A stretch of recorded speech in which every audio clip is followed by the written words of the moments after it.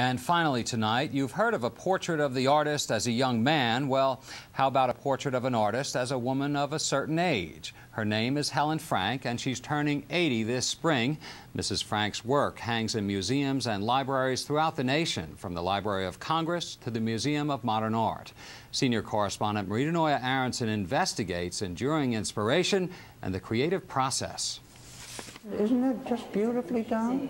It was this painting that led us to Helen Frank.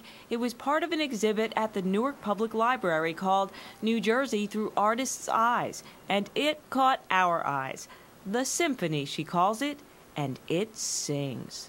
And when they started to play, I had this image of the of the music actually rising with the black gowns that the women were wearing and the tuxedos, and it just came out. And that, she says, is how it all tends to happen.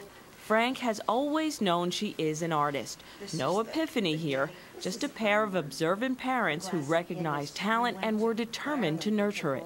I think that parents have an enormous amount of influence on children with the amount of encouragement that they give them. Very, very powerful. And so apparently is her work. Jerry Gilday has been featuring Frank in her Westfield gallery for 15 years. Her work touches everybody. It has, she has children, family, travel, New York, baseball, dogs. You, you probably can't think of something that she hasn't done. The, the human interest. Frank grew up in Newark and Maplewood and lives in Union County now. Her work represents an array of locations, many in New Jersey. I live in New Jersey.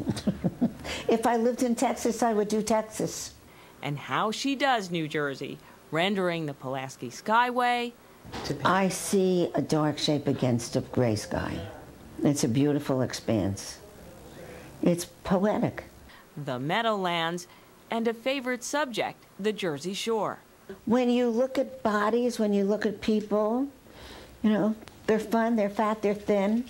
There's always the, the kid with the, the towel wrapped around him with the chattering teeth and the lovers and the fat ladies that can't get out of the chairs. I mean, you know, it's like a play.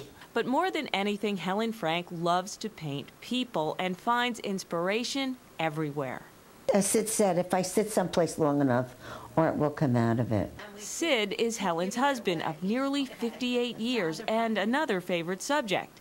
Here are people that we love as are her children and her grandchildren.